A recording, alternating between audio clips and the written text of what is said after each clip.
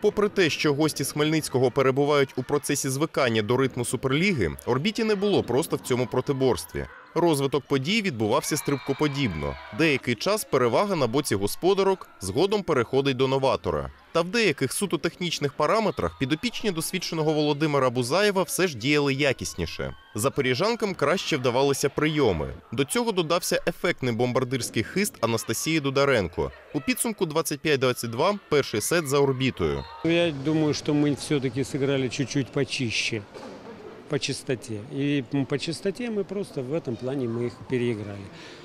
Ну, у них хорошая, хорошая команда, хороший баланс. и Ничего, поэтому они сложная команда, поэтому надо, с ними надо играть.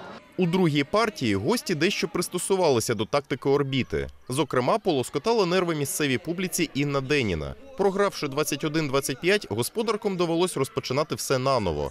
Та зібравшись у третьому сеті, команда Володимира Бузаєва відновила перевагу, взявши партію під свій контроль 25-18.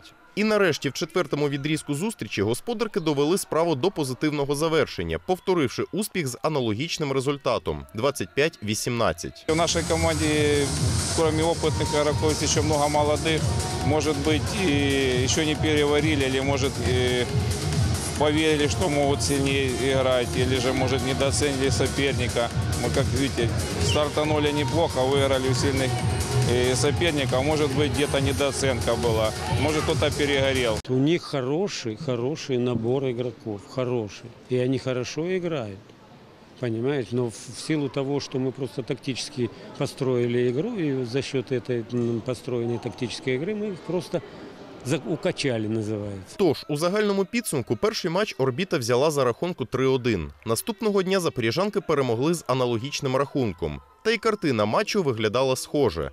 Тож на цю мить запорізька команда продовжує лідирувати в чемпіонаті України з 18 очками. Цю позицію наш колектив розділяє з южненським хіміком. Власне, в четвертому турі два фаворити зійдуться в очному протистоянні. Матчі відбудуться 26 та 27 жовтня. Микита Карпій, Олексій Чернявський, телеканал ЗЕТ.